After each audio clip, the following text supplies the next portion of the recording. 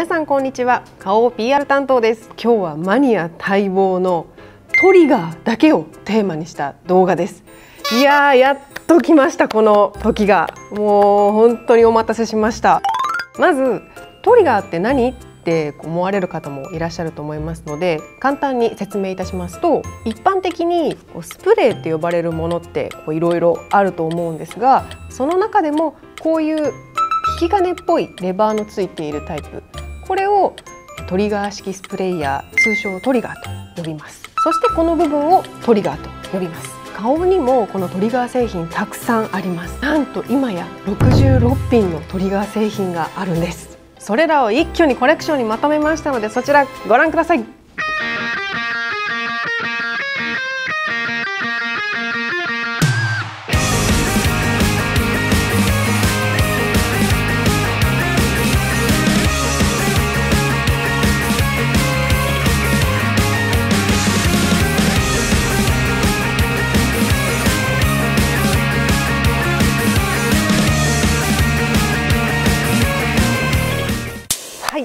改めて見るとすごくないですか？この映像永久保存版じゃないですか？トリガーマニアにとっては。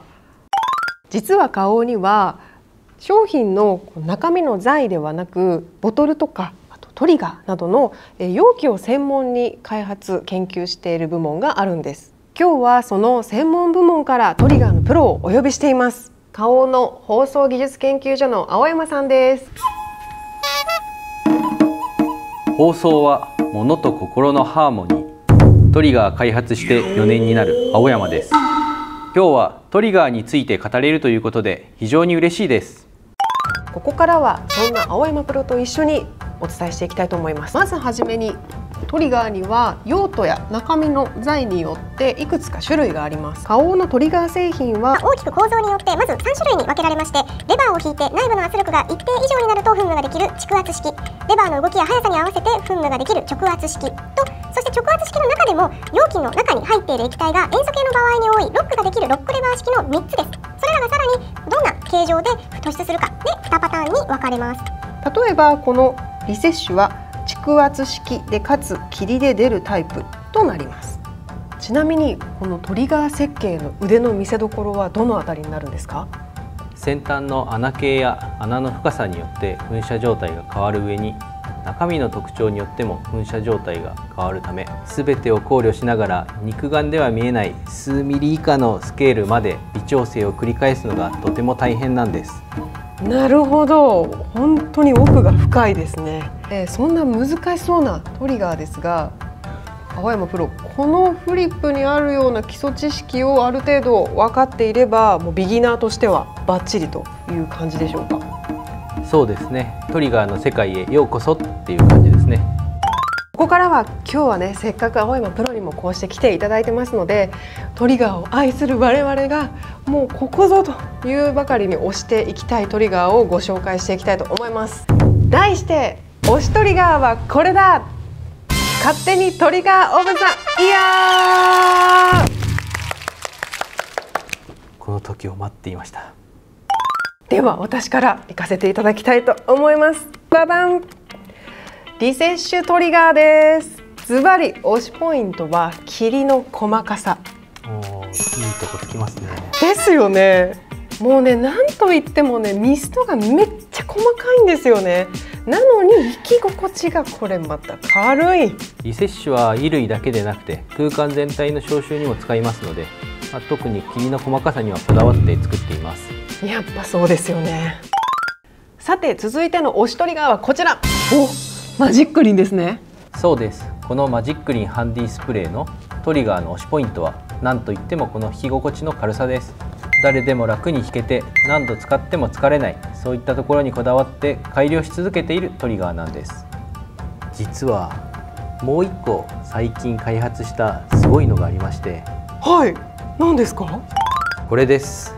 バスマジックリンエアジェット。これ気になってましたトリガー部分なんか大きいし中身どうなってるんだろうって思ってました。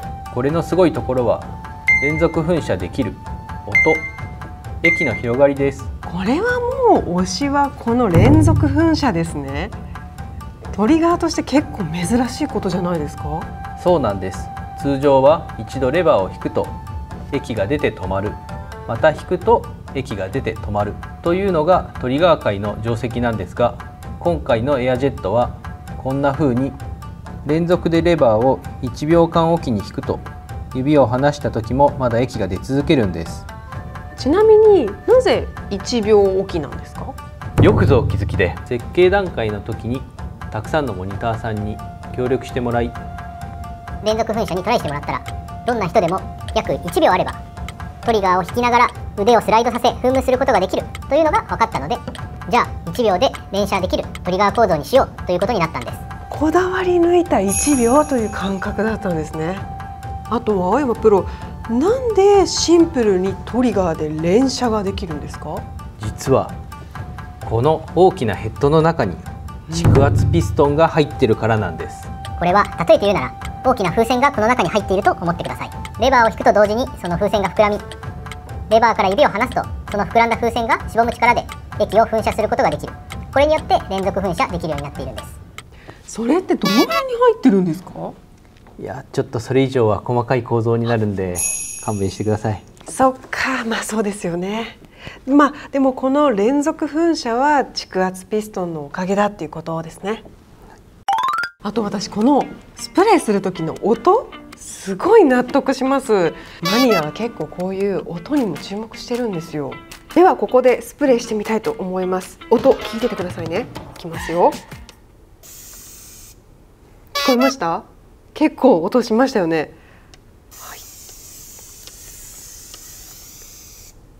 あーやっぱこれが心地いいんですよ。この自分でちゃんと音が聞こえるっていうのが。さすが見てますね。実はこれもトリガーの設計によって音がしっかりするようになってるんです。えー、ジェット機っていうと大げさですけどねもう連射はできるわ。音は綺麗に出るわで。どんだけ技術ここに詰まってんのっていう感じですね。はい。では今日はトリガーマニアによるトリガーマニアのための熱いトリガートークということでお届けしましたけれども本日いかがでしたか大山プロ？もう大満足です。